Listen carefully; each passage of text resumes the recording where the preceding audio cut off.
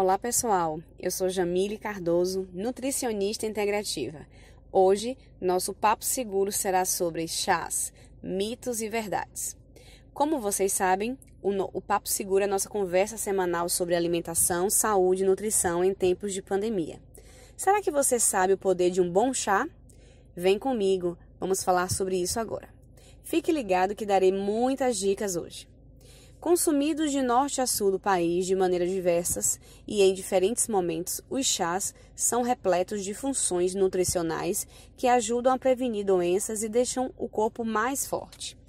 Todo mundo já ouviu sua avó indicar um chá para amenizar alguma dor ou desconforto, e elas estavam cobertas de razão. Em tempos de pandemia, os chás podem ser ótimos aliados da nossa saúde, tanto para prevenir quanto para fortalecer nossa imunidade. Hoje falarei de alguns tipos de chás para vocês. O chá de alcaçuz é expectorante e anti-inflamatório das vias aéreas superiores, indicado nas alergias respiratórias, gripes e resfriados.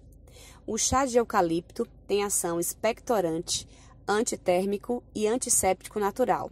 Serve para higienizar diferentes áreas do corpo e desinfetar também machucados.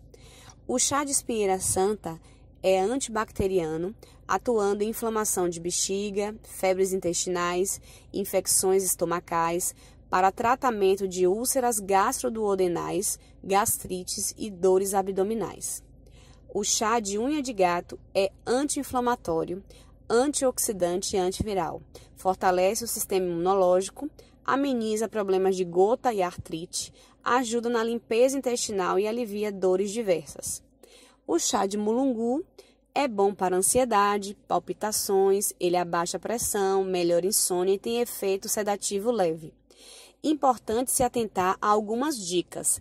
A erva natural é mais potente do que os chás de saquinhos industrializados, mesmo que tenham os mesmos nomes. Importante também ter cautela com o uso de algumas ervas e com o excesso delas, pois pode existir alguma interação com outros medicamentos que a pessoa use podendo potencializar o efeito do remédio ou diminuir o efeito. Vamos aprender como preparar um delicioso chá?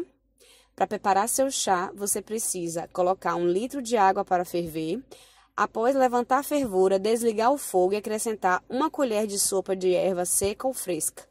Tampar e deixar nessa infusão por 5 minutos. Consumir após esfriar. Então ficamos por aqui. Não deixe de nos acompanhar nesse canal. Um abraço e até o próximo Papo Seguro.